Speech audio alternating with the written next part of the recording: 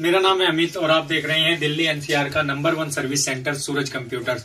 आज ही हमारे पास एचपी का लैपटॉप आया है, जिसका मॉडल अच्छा होता है एचपी फिफ्टीन ए मॉडल कहाँ लिखा रहता है? यदि आप सब, आपको ढूंढना है, हम आपसे पूछते हैं किसी वीडियो में तो मॉडल यहाँ पे, ये यह यहाँ पे, इसके आसपास ये पूरी पट्टी आप देखोगे, इस पे कहीं ना कहीं कुछ मॉडल लिखा होगा, जैसा कि यहाँ पे आप देखोगे, इसका मिटा हुआ है, इसमें पर मॉडल है एचपी फिफ्टीन ए सी आप ध्यान से देखोगे फोर टी यू करके ऐसा मॉडल होता है तो इस पट्टी में ही हमारा कहीं मॉडल होता है बॉटम पे, ये होगी पहली बात। अब हम आपको बताते हैं, इसमें प्रॉब्लम क्या आ रही है, आप देखोगे, इसे जैसा मैं खोल रहा हूँ तो ये पूरा लैपटॉप खुल जा रहा है स्क्रीन इसकी ये आप यहाँ से देखोगे, पूरा निकल जा रहा है बाहर। ये तो इसके हिंच टूट गए हैं।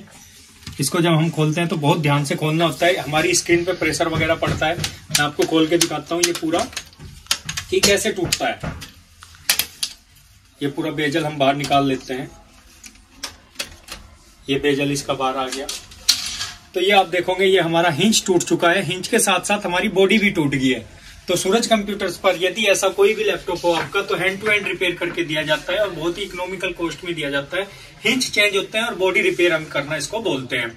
तो यदि आप हमारे चैनल पर नए हैं तो हमारे चैनल को सब्सक्राइब करें वीडियोस को लाइक करें। फिर हम बताते हैं ये टूटते क्यों हैं? ये हिंच क्यों टूटता है हमारा? हिंच इसलिए टूटता है कि हमारा यहाँ पे आप देखोगे ये प्लास्टिक का जो बेस होता है ये थोड़ा सा भी लूज होते ही यहाँ से यहाँ या स्क्रू वगैरह होते ही कि थोड़ा बहुत जब टाइट हो जाता है हमारे हिंच टाइट हो जाते हैं तो ये लोहे को तोड़ती है। लो, ये वाला लोहे वाला हिस्सा टूटने के बाद फिर ये हमारा प्लास्टिक वाला हिस्सा भी टूट जाता है जिस वजह से ये हमारी ये बाहर आ जाती है।